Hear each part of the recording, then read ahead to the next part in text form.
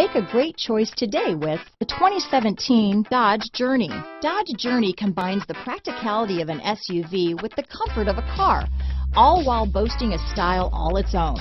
The Journey's optional third row seat, along with innovative features like a chilled beverage cooler and in-floor storage bins, make it a good and affordable alternative to a traditional minivan. This vehicle has less than 30,000 miles. Here are some of this vehicle's great options.